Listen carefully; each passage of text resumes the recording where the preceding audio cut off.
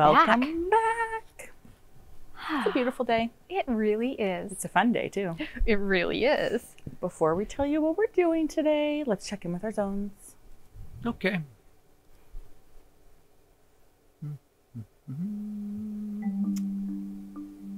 I've decided we need a new zone color.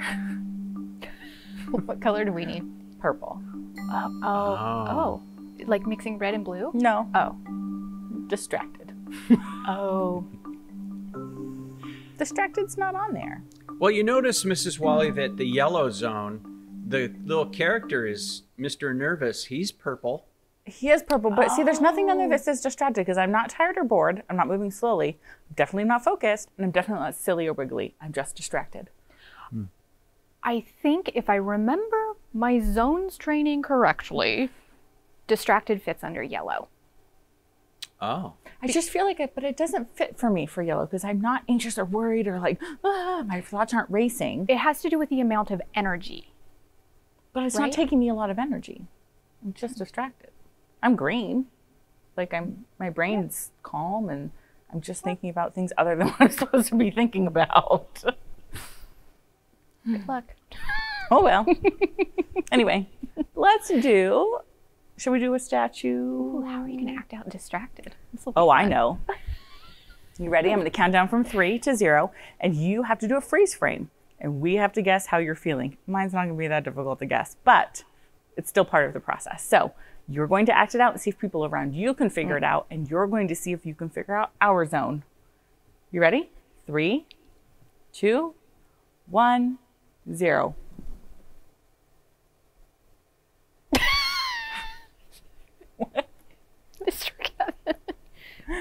Oh, Mr. Kevin. Uh, Are you confused?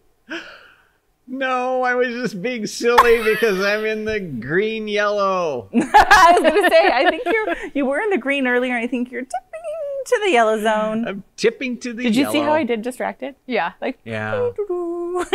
So that's that's yours? You- yeah, you're distracted. very. Distracted. Miss Oslin, I think you're green. Yeah, I'm good to go. I guess I'm not because no, I'm distracting you gonna with my feet. One of us I'm us gonna try is really hard. one of us is in I- good shape. Miss right? Oslin's feet were hurting, so she's it's okay. I'm good. I can focus. I can do this. Brain, you can focus. You can. Positive Uh, self-talk. I love that. Yes. Important. Shall we review our three personal standards, especially because we're going to be outside the TV classroom? On a field trip. Yeah. We agree to Show respect, make good decisions, and solve problems. And one way we show respect here in the TV classroom is by honoring our indigenous lands and peoples. Now, what exactly are indigenous lands and peoples? Well, those are the people who came before the settlers. The people who lived here to mm-hmm. begin with. Yes. For a really, really, really, really, really, really like 20,000 years long time. Yes. And the land. That they lived on Yes. and kept beautiful. Took care of. So we're going to honor those people by Look outside your window. Look at the sky, the trees, your surroundings. Our physical space stands on the ancestral and historical lands of the Puyallup tribe of Indians. We acknowledge the Puyallup tribe of Indians community, their elders, both past and present, as well as future generations. We make this acknowledgement as part of our work to dismantle the ongoing legacies of settler colonialism and white supremacy or unjust treatment. Unjust treatment. What is mm-hmm. that? It's when we're treating someone not fairly. Hmm. So unfair, unjust. And there are groups of people that do that, and the settlers did that. Mm-hmm. So we're identifying that that happened. Mm-hmm. We acknowledge it It happened, and we're going to try really hard to never do that again. and take the space here in our lesson To learn about it. to pause, talk about it, think about it, feel about it, and learn about it. It's important It because when we know better, we. Do better. That's right. All right. Oh, our scientific process. We've been making observations, asking questions. We did some reading. A Seed is the Start is the book that we read. Today we're going to talk to an expert. We are. We're going to gather more data, interpret some observations. Yep, we're doing that today. we might pro not we might probably we will probably be revising our thinking as we learn new things. We have to change what we thought we yes, knew. because we've just been talking about seeds. Seeds in plants. Mm-hmm. We're gonna make some connections today. But it's not just seeds, my friends. no. Then we're gonna get to a point where we learn more, but we start to satisfy some curiosities, Mhm. We'll do some of that on this field trip. answer some questions.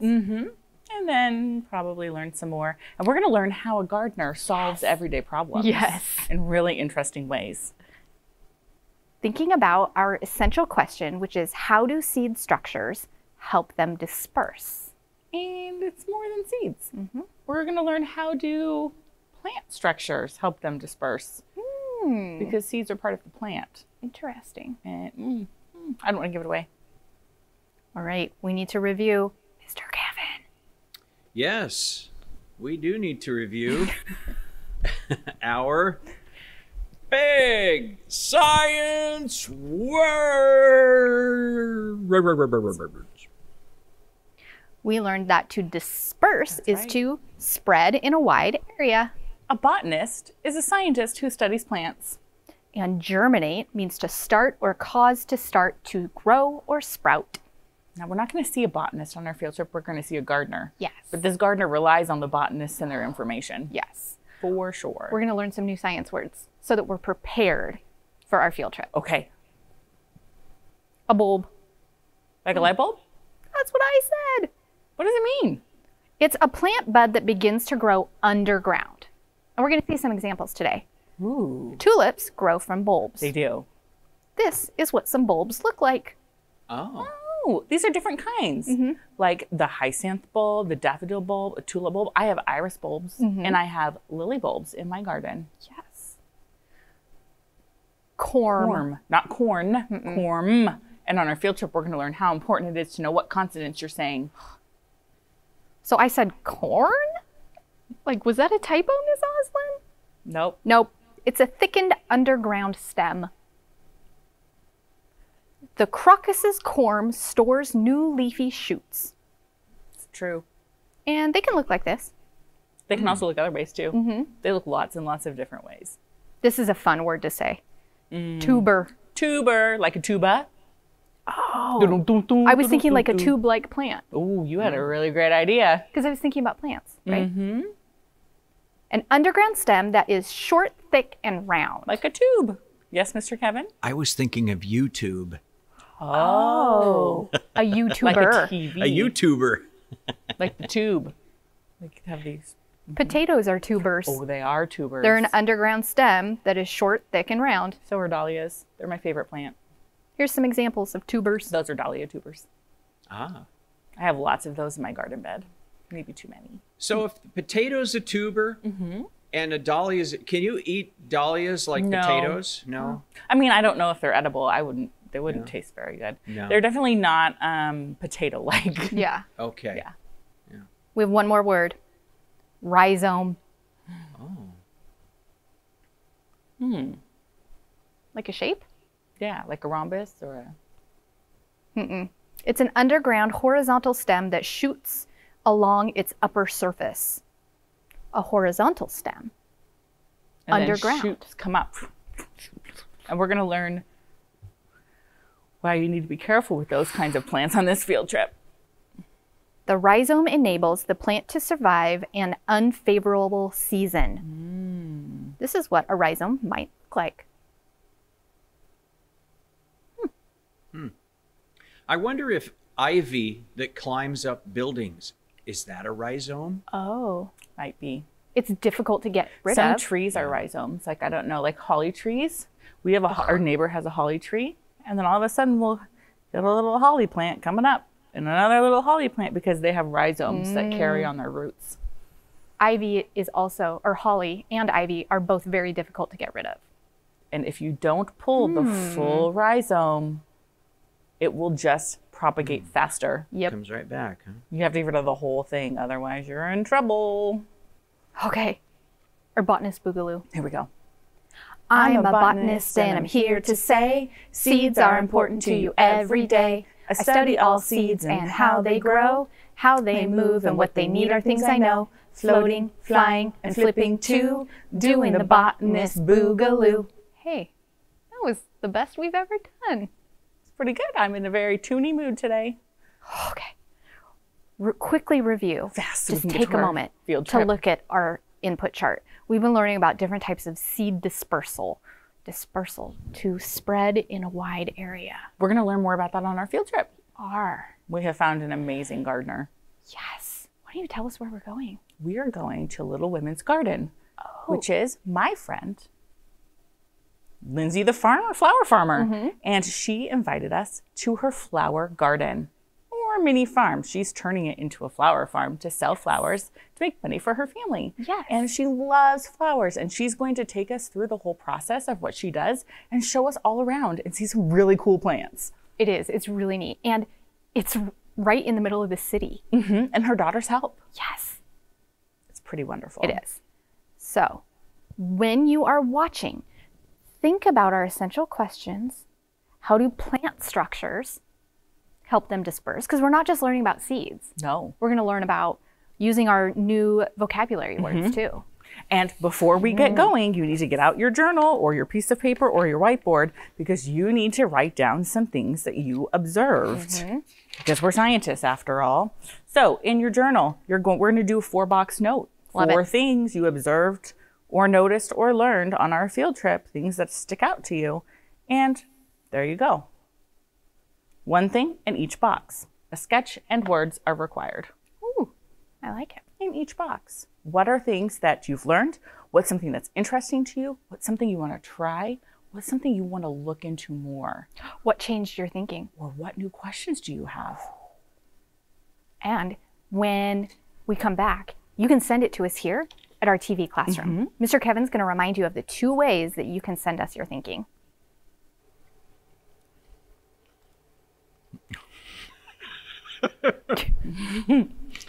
You caught Mr. Kevin having a snack. Well, we all need to eat. That's all right, You- Mr. Kevin. You know, it, it started when we said potato. And and then you wanted French fries? Are you eating tubers up there? no, I'm not eating tubers.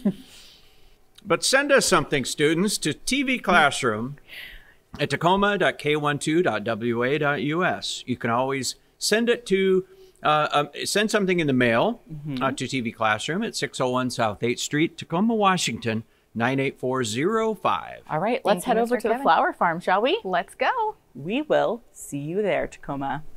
Bye. Hi, friends. We made it. Can you believe it? I'm so excited to be at a flower farm. It's beautiful here. I'm so excited to learn. Me too. So I want to introduce you to Lindsay, the flower farmer. Hi, Lindsay. Hello, ladies. Thank you for having us. Yes, I'm glad you're here. I am Lindsay of Little Women Gardens, and I actually have three of my four little women here. This is my oldest, Bentley, and then Emery and Lane. And they are students just like you. And they're going to help us learn about flowers today. Yes, they are. So here is where the magic happens underneath the soil and on top of the soil. Amazing. Where should we start? Well, actually, I think we should start in the greenhouse because that's where things start small and then they get big. Okay, let's go there. We'll see you there, friends. Hi there. Okay, so there are a couple different things that happen underneath the soil. There are five different ways that plants start out, and you're probably familiar with one of them. So there are things called seeds, right? They're the itty bitty ones. And I think it's pretty cool. You want to hold out your hand, Emery? That seeds actually start out in different shapes and sizes. So this one is called calendula, and they look like little curly worms. They're really funny. You probably wouldn't even think it was a seed if you saw it on the ground. Um, and this one is actually a stock seed, and it is, looks a little bit more like a seed. But look how different that one looks. So different. And what I love about seeds, they're just like people, different shapes and sizes and colors, yet they all produce beautiful flowers. So there are seeds. Seeds are one way that flowers begin. There's also, you can put that in there, babe. There's also a different way. You might be familiar with this. This is called a tuber. You actually eat tubers. You probably know that this is a potato, but right now these are called eyes and they are coming up. If I planted this in the dirt, I'd have a potato plant in probably a few short weeks. I highly recommend planting a potato because it's very rewarding. You'll mm-hmm. feel like a master gardener because they grow fast and they grow big and tall. Mm-hmm. And then they have little beautiful purple flowers, but underneath the soil, you'll get like 20 of these. You need to give a lot of room to a potato plant. So this is a tuber. You can plant this in the ground, but also tubers. You could make your own French fries. Yes, you can. Whoa. We made the mistake at my house last year of planting too many potatoes in a garden bed. I'm still finding them. There you go. Lessons learned. This is also a tuber. This is called a dahlia tuber.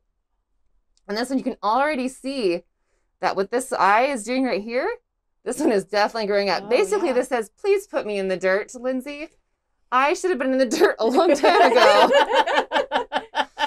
so I'll be potting this up later today.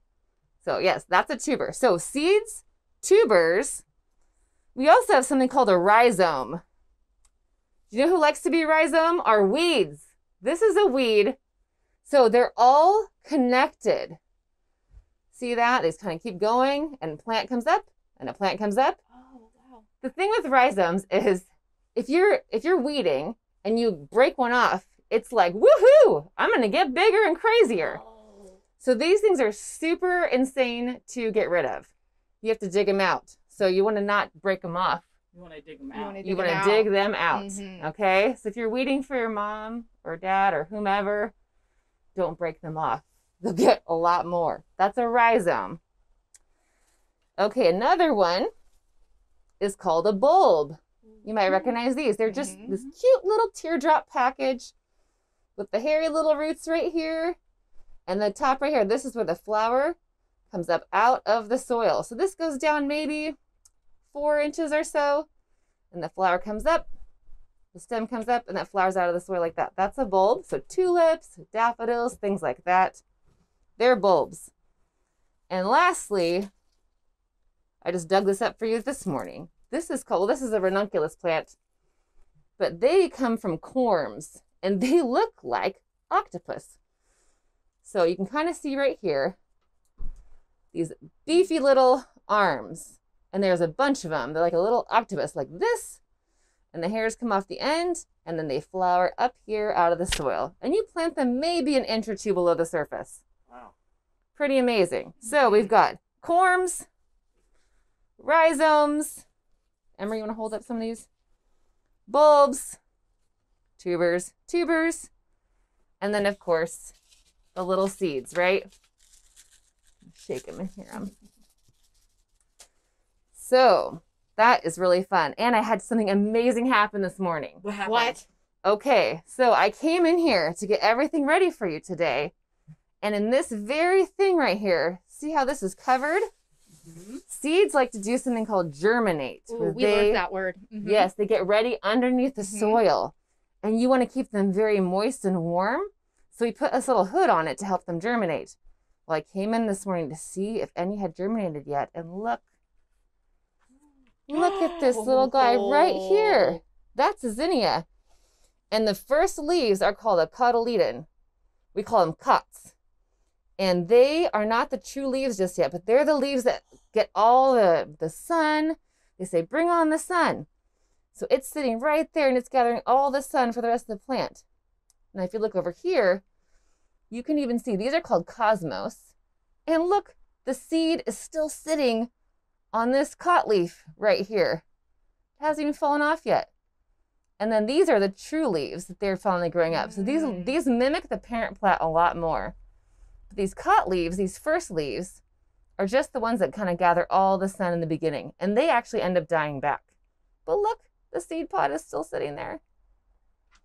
See, Isn't that can get in funny? Real close on that. Yeah. and the seed pod's sitting on this one too, on that cot leaf. so cool. Isn't that amazing? How do those little plants know how to do all that? It's just part of their nature. It's amazing. You have So- so, many different kinds of plants in here. I do. It feels like one big, huge experiment, really. Yeah. That's what's so great about it. So I end up leaving these little hoods on, this little germination hood on, until about half of the tray is germinated. Mm. And then I take it off and let the sunshine do the rest.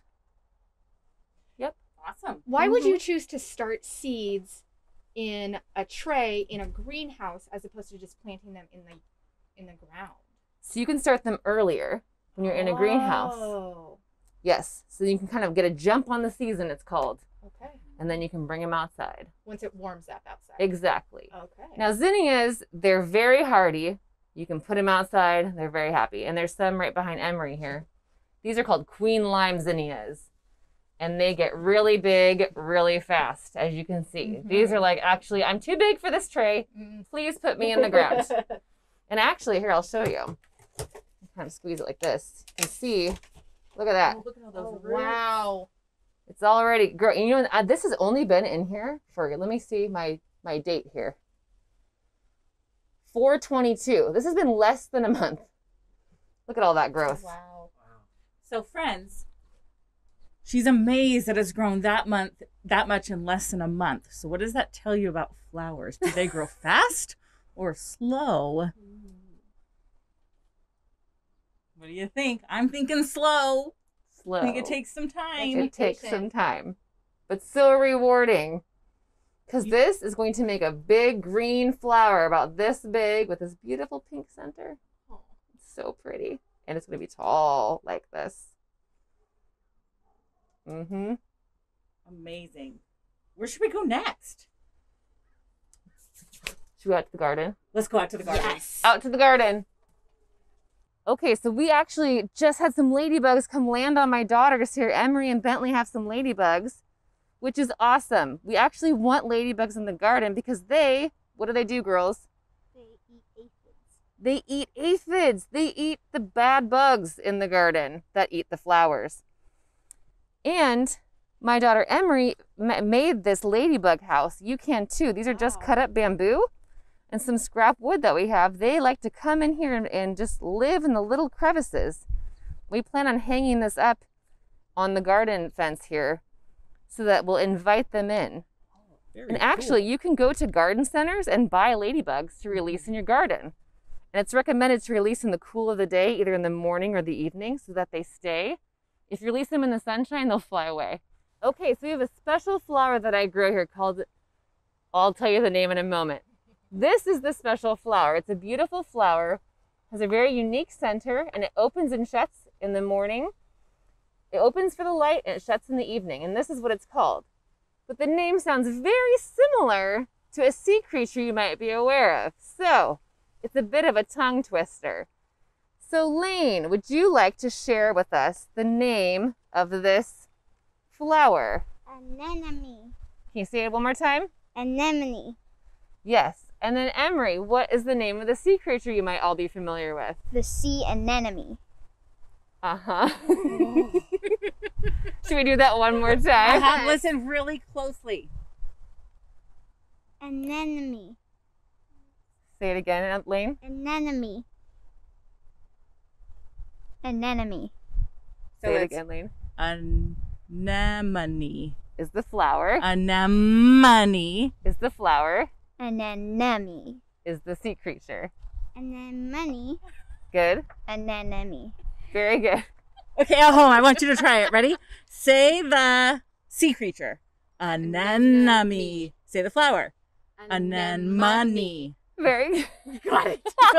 That's hard when you can't see my mouth. yeah. Yeah. The first one, the flower has a anem. Here, we wrote it like this. oh yeah. Oh yeah, let's look at it. Look. Whoa. Anemone. Anemone. So the oh. M and the N switch places. Yes, I bet people say it wrong all the time. they do. I bet. Yes. Thanks. That was awesome. That is cool. all right, we're going to enter the garden. The funny thing about my garden is there's no gate. So it keeps out not only deer and bunnies, but people too. Just kidding. Currently, this is how I enter. It is eight feet tall. And you'll notice that um, so deer can jump over seven feet, sometimes even seven and a half feet. So this is eight feet up here because we have a lot of deer here, which we we get to see them when they're babies, and then they grow up. So we've named them year after year. We've had Siri, Alexa, Gerald, Hydrangea, I love the names. Bambi, Cleopatra. Lots, lots of deer here. You ever see one girls and say, "Oh dear"? oh, Mr. Kevin. yes.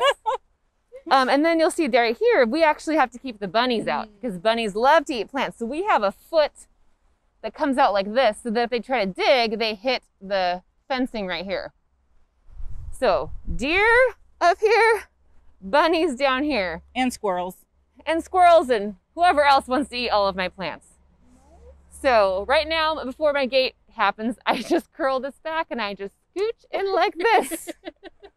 Ta-da! There you go. Welcome to my garden.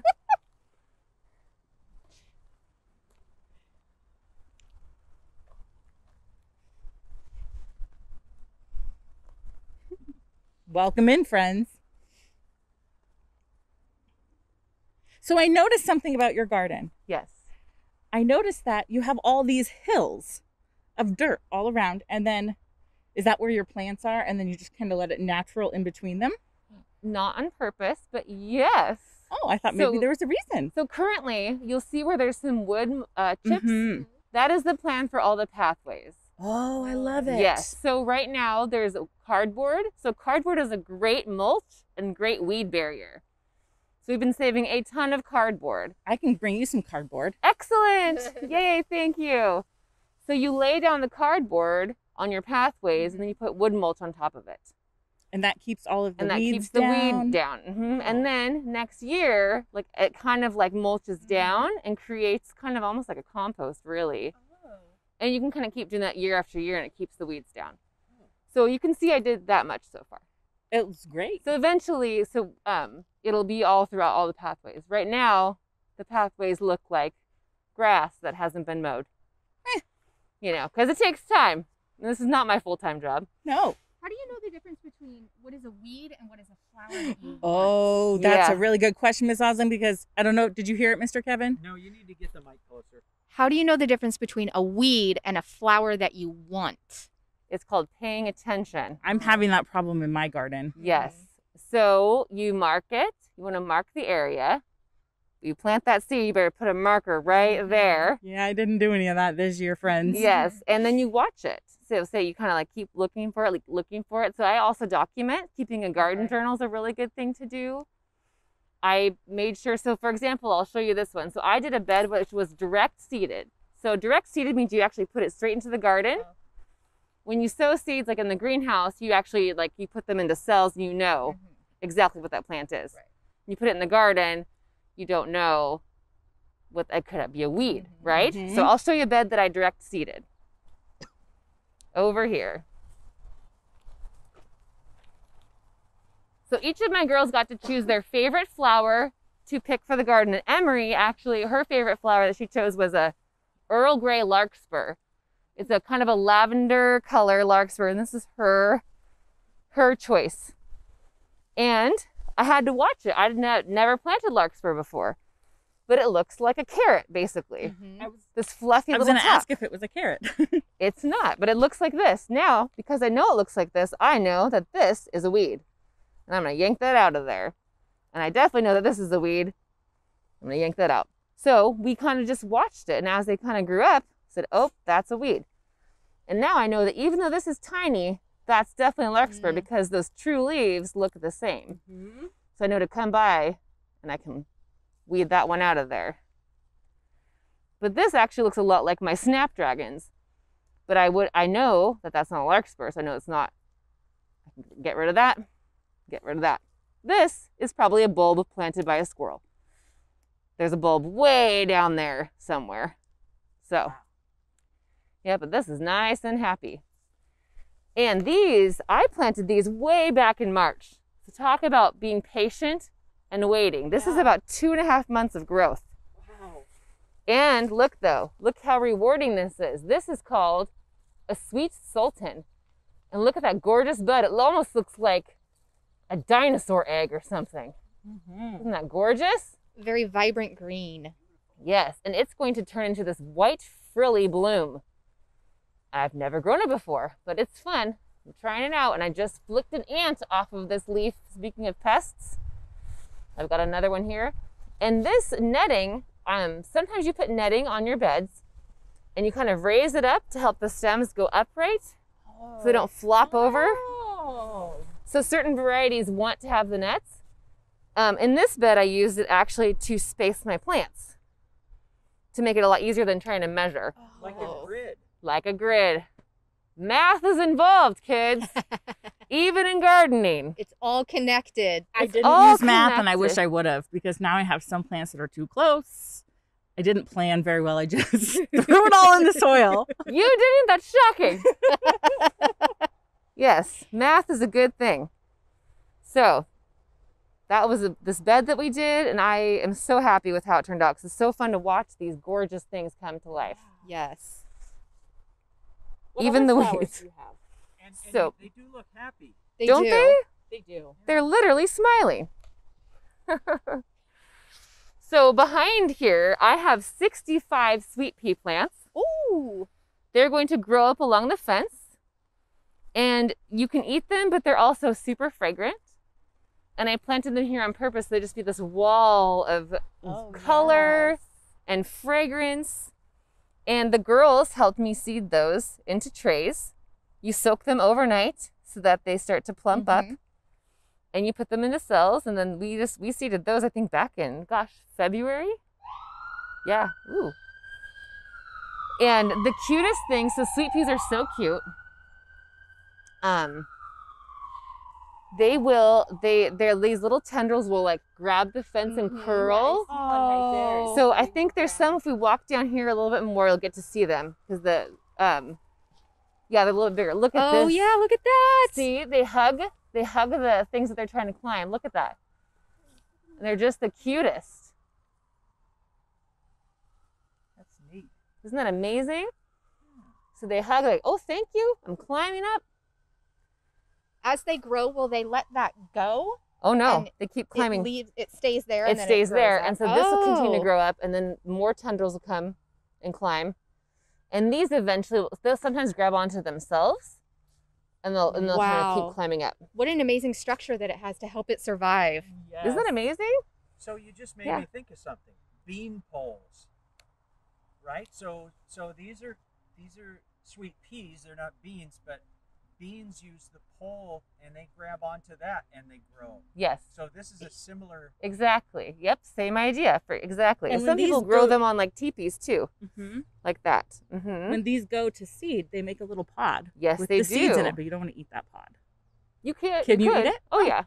Yeah. And you can also let them crack and open, and they'll. So this is an example of a plant that will crack open and release its own seeds. Mm. It's an annual, and then it'll just self seed itself. Or you can harvest that pod, let it dry, and then save it for next year and plant them wherever you want. Yes. Or sometimes the birds will grab the seeds and they'll plant them wherever they want, Mhm. or they'll just eat them. So that happens too. and that brings me to something too. So squirrels, animals, people, the wind, they're all they all plant things as well. Mhm. We learned water does too. Ooh, if it yes, I if it's a plant so. by a river, then it'll Mhm. carry it. That makes sense. Yeah. Also that. Yep. Okay, what else do I have here? So, this is a bed full of asters. These are an amazing flower. They'll be about, I don't know, this tall, and they have a big fluffy bloom. I just love them, and they'll last a long time in the vase. Um, these are called straw flowers. Oh my goodness, I wish I had one to show you because when you touch them, they literally feel like straw Oh. and they sound like it, like hard. oh, And they're a great dried flower. So I plan on saving them to make wreaths in the fall. These look like weeds, but they're not. I figured they weren't, but Right? I was curious. But you would wonder because of what, they look like. It's called um, statice. Again, it's another great dried flower, and it also feels papery. Like in the 1980s, like my mom had, you know, statice Mhm. on the wall in like, you know, everywhere in her house. That was there for years, gathering dust. um, this is called Queen Anne's lace. There's another version that's poisonous. This is the non-poisonous version. It's great for um, bouquets. And then we have some more. This you can't see it yet, but this is another place where I direct seeded. So there are seeds underneath the soil that I keep watered that will come up. There's some bachelor button over there. And I see your little markings. I see your, li- Yes, your my little markers. tags. That I know, and it's it's fading. I better be careful. This is Queen Anne's lace, two twenty five. So there you go. Is- um, and is- then behind you, I do have some vegetables. It's kind of fun to Oh, see. Look at that. Yes, this is a um uh I think this is which one is this? A cassette squash. Look at that. So the funny thing about it is they flower and then as the flower dies back, the fruit or the vegetable starts to come. So that is a squash. Isn't that cool looking? And then we have some peppers over here coming up. And I have one lowly tomato plant. My father in law is the tomato man of the family, so I just have one. I get so many tomatoes from him, but I've got one flower coming. So wherever you see a flower, that's where the fruit is going to grow. The flower comes first. So there will be a happy little tomato coming out of that flower later. That's exciting. And then this, my Lane, her one request was she wanted a she wanted to walk through a tunnel of sunflowers. so that's what this is going to be, right here. The tunnel of sunflowers. So they are right along here. We just planted them. And they will grow up big, like way up here. And the ones along the back are called honey bears. And they are basically yellow and fluffy. They're not typical, they're just all fluff. They're called, yeah, golden honey bears. How fun. Isn't that fun? It's amazing how many different kinds of plants there are in one type of plant. Yes. That's something I've noticed lately when I've been researching is that a sun, not all sunflowers are equal or the same. They're all different, but they're all beautiful, but they all have different structures that help them survive in different ways. Yes, for sure. Mm-hmm. Is there a reason why you plant each bed homogeneous, so like all the same flower, as opposed to alternating all in the same row? I do just because it makes it easier for harvesting. Oh. Because it's like they, I harvest them all the same way, rather than different heights or whatever. Mhm. Oh, that makes sense. Um, and then seasonally. So like sunflowers are fall. Um, and same with these. And then the ones over there are more spring. So like I can turn those beds and be done with those beds, and then this will happen later.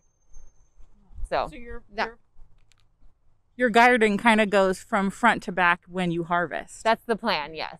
I love it. Yeah. Trying to. Hi there. I thought I'd show you guys a particular flower. This is called a bearded iris. And this stem is, gosh, probably three feet tall. And they are so intricate. And you can see all the beautiful veining. And look at this like fluffy featheriness going on here. And these bearded iris come in all different shapes and sizes. They're just fantastic. What I think is really interesting is they bloom in succession. So the first bloom opens, and when that dies back, the next bloom opens, and that dies back, and the next, and then the next. And they bloom down the stem. Okay, so these are called alliums, which most um, onions, garlic, things like that, they grow like this with this beautiful flower at the top, but the onion and garlic is down below the soil. But they make these beautiful flowers. Isn't that so fun? And they look like firecrackers. Just amazing. And then look at this crazy thing right here. But once that thing falls off, you'll see it's got these beautiful florets. Oops. I just love them. That's awesome. And you say firecracker because it looks like a firecracker that just exploded, right? It really does, yes. And they just keep expanding. They get like kind of this ball shape. Isn't that amazing? And the individual flowers are called florets. Oh, look at this curling thing right here.